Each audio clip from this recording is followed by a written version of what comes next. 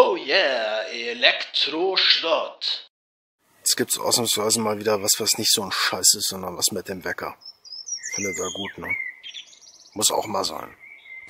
Neueste Neuigkeiten vom Uhrenmodul sind, dass jetzt diverse Sachen zusammenkommen, so wie das Klebeband hier, äh, naja, eher auseinanderkommt.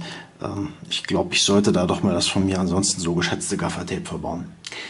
Was wir bisher schon hatten, konnten, wussten es, dass ich mit einer einfachen Handbewegung die Uhrzeit einschalten kann. Hier sieht man jetzt übrigens an der ersten LED, also die ganz rechts, sagt mir, dass die äh, DCF-Zeit synchronisiert worden ist. Das heißt, es ist jetzt kurz nach Mitternacht. Und darüber hinaus geht jetzt noch ein bisschen mehr. Ich habe nämlich hier unten auf dem Board, na, sieht man das vernünftig? Hier habe ich so einen kleinen Taster. Und wenn ich auf den Taster drauf drücke, dann springt hier oben noch eine zweite LED an und daran sieht man, dass ich jetzt gerade im Alarmzeitanzeigemodus bin.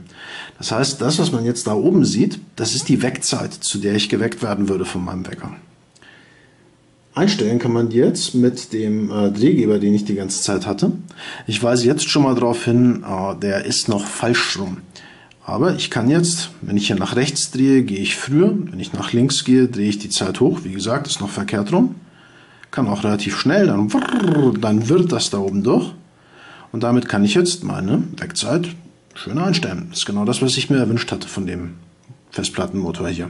Tolles Teil dafür, gefällt mir wirklich gut. Was ich jetzt noch brauche, damit es richtig gut wird, ist der Pieper, der mich dann auch tatsächlich irgendwie mal wecken soll. Dann kommt der ganze Schmonz da unten hier, der noch so unordentlich auf dem Breadboard drauf ist, endlich mal auf ein so eine kleine Rochester-Platine. Dazu gibt es dann auch nochmal ein Video. Und da muss ich mich leider mit der Sache auseinandersetzen, die ich die ganze Zeit befürchtet habe. Da muss das nämlich alles irgendwie in ein Gehäuse. Und davor habe ich Schiss, weil diese Lötereien hier, die kriege ich noch halbwegs in den Griff. Aber Gehäuse bauen, hm, naja. Ich weiß noch nicht ganz genau, wie ich das in den Griff kriegen soll. Egal. Fürs Erste kann ich jetzt schon mal meine Wegzeit und meine normale Zeit anzeigen. Das ist ja schon mal ein Anfang. Und man sieht, an diesen Verbindungen hier, das mit dem Gehäuse, das wird die Hölle. Naja.